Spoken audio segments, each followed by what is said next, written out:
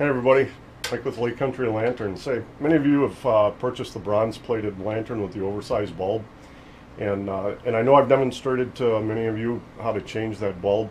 Um, but as time goes on, you know, people might forget and say, oh geez, I forgot, how did he do that? So as promised, I told you I was going to post a video up on my uh, Facebook site uh, demonstrating how to change that bulb. So what you're going to do, we'll go ahead and shut this off.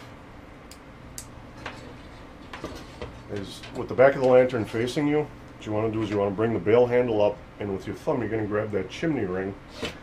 This chimney assembly is spring loaded, so what you want to do is get your thumb and your middle finger underneath the glass and at the same time you're going to lift the entire assembly up and hanging onto that glass with your thumb, get your middle finger in there and you just start unscrewing that bulb. It's important that you make sure the bulb is completely loose in the base so that it's not grabbing onto anything because the globe itself tilts out the back of the lantern. And if it's grabbing onto that socket, you may wind up breaking the bulb. So once that's loose, you bring that out, now you've got access to the bulb. So when you get your replacement bulb, go ahead and set that platform so that it's flat. And you know, just rest that bulb in there so that it's just at an angle. You're going to slip that chimney over the oversized bulb. You're going to lift your chimney assembly up. And what you're going to do is you're going to just get that thing seated in there.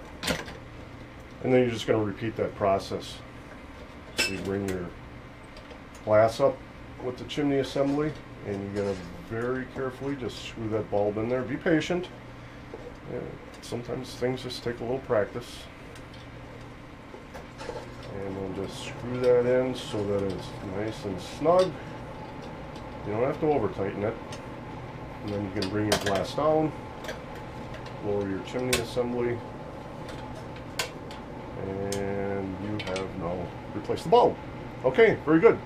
If you have any questions, uh, contact me on my Facebook site through the messenger, and thanks for watching.